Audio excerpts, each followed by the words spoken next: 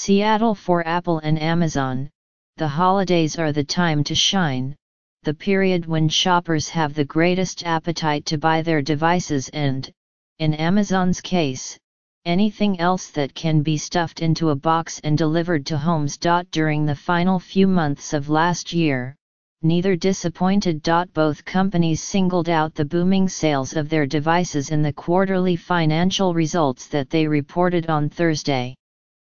Apple boasted of its highest revenue ever for a new lineup of iPhones, which included the high-priced iPhone X. Amazon raved about the demand for gadgets like the Echo, which runs its intelligent voice assistant, Alexa. Our 2017 projections for Alexa were very optimistic, and we far exceeded them, Jeff Bezos, the chief executive of Amazon, said. We don't see positive surprises of this magnitude very often expect us to double down. Amazon, a company once known for routinely posting losses, more than doubled its profit thanks to strong growth in its cloud computing division and a newer business for the company advertising. It also benefited from a large gain resulting from changes to the United States tax code. For the quarter that ended December 31, Amazon said, net income rose to $1.86 billion, the highest profit in its history and more than double the $749 million from a year earlier. A big part of the increase, $789 million, came from the tax benefit. Revenue jumped 38% to $60.45 billion from a year earlier. Amazon's shares soared nearly 6% in after hours trading following the release of the results.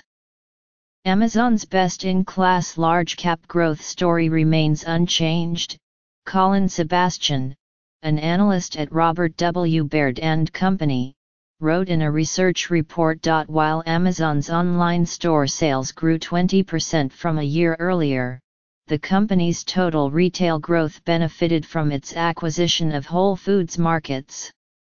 That deal, announced in June, added much of the $4.52 billion in physical store revenue for the quarter. Yet the biggest revenue growth came from a category generically named Other, which includes advertising services and rose 62% to $1.74 billion from a year earlier. By far the most profitable big business for the company was Amazon Web Services, the cloud computing unit. Its revenue rose 45% to $5.11 billion, and its operating income increased 46% to $1.35 billion. Amazon kept with its tradition of secrecy by refusing to reveal exactly how many of its Echo family of devices it sold, saying only that it sold tens of millions of them last year. The company priced the devices aggressively over the holidays its cheapest was only $29.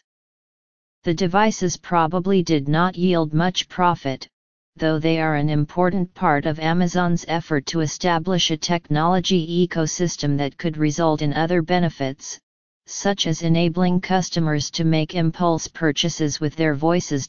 Apple, in contrast, is without equal in making profits from tech hardware. For the company's fiscal first quarter, it reported a record for quarterly net income $20.07 billion, up 12% from a year earlier.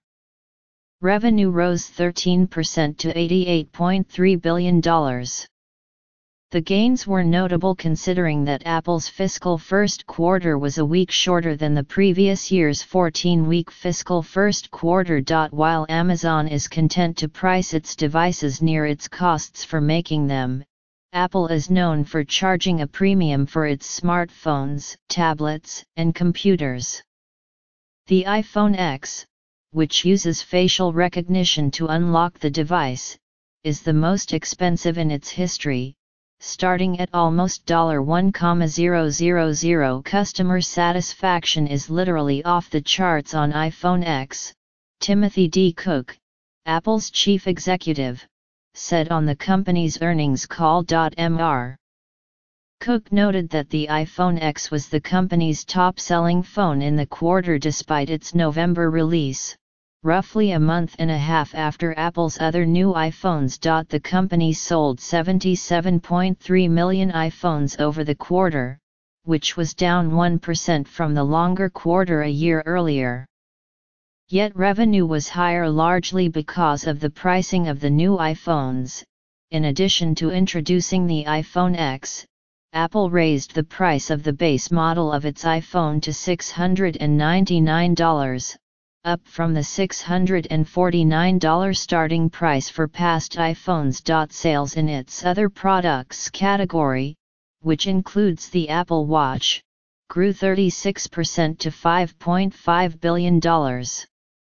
Apple declined to disclose sales of the Apple Watch for competitive reasons, but Mr. Cook noted on the earnings call that revenue for the Apple Watch had grown 50%. Apple also highlighted money generated from services, which include the App Store and Apple Music, with revenue rising 18% to $8.5 billion. Apple said the App Store continued to be the top destination for smartphone customers to buy apps. Apple sold 13.2 million iPads, up 1% notable because iPad sales declined for many consecutive quarters over the last few years. But Mac sales shrank about 5% to 5.1 million units. Despite strong sales of the pricey iPhone X, some analysts remained concerned that its sales were slowing. Ahead of the earnings call, some news reports said Apple was slashing production of the iPhone X for the quarter that ends in March. The reports cited supply chain partners that said Apple had cut orders for parts. But in years past, Apple has warned investors that activities of its complex supply chain were an unreliable metric for overall sales. The company also typically slows down iPhone production after the holiday quarter, which is the peak shopping season. Last month, Apple also unveiled plans to bring the vast majority of its $252 billion in cash held abroad back to the United States, paying a one-time repatriation tax of $38 billion. Because the company had already earmarked $36.4 billion in anticipation that it would eventually have to pay taxes on its foreign earnings, Apple did not see much impact from the recent tax code changes. Luca Maestri, Apple's chief financial officer, said that in light of the new tax code, the company would announce plans for its repatriated cash, including dividends and buybacks, in April.